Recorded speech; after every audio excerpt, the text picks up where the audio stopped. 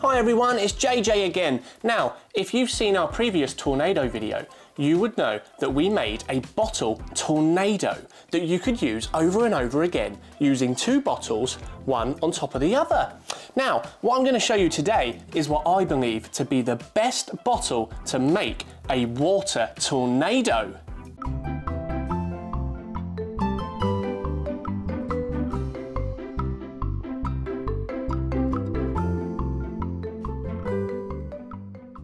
So you may recognise this bottle at home, maybe you've seen them out and about. These are pet water bottles. Now you can pick these up from any pet shop, not to mention they're super, super cheap. Now this I believe, makes the very best bottle water tornado.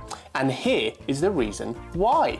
So it has a perfectly symmetrical shape. Plus, the outlet spout is very, very small. These create the perfect conditions to simulate a water tornado. And we're gonna try it right here, right now. So I've got my bowl of water ready. I've got this water bottle topped up all the way to the top. As you turn the bottle upside down, you have to create a nice circular motion. Now, it's this circular motion that will start the process of making the tornado in the bottle. So we're gonna test this out right here, right now. So I'm gonna take my bottle and on the count of three, I'm gonna turn it upside down whilst giving it a circular motion and we're going to capture just exactly how it does. Right, one, two, three.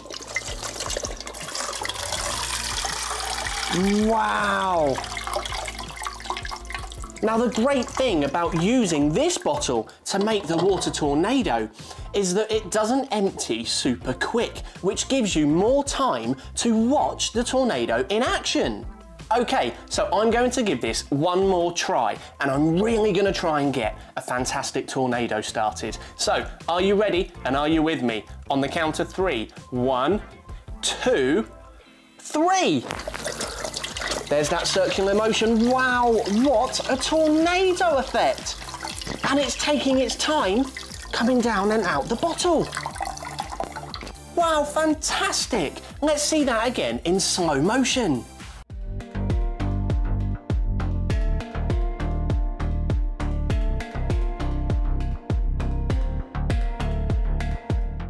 Wow, what a fantastic experiment. Now, if you'd like to check out our other tornado video on the channel, that will show you how to turn a couple of these water bottles into your very own water tornado toy that you can use over and over again. We also used some food dye in the water to make some really cool effects. Do check it out if you've got the time.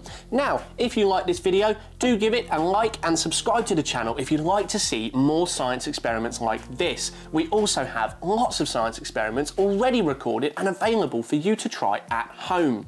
Do take care everyone, stay curious, and I will see you again very, very soon. Bye bye for now.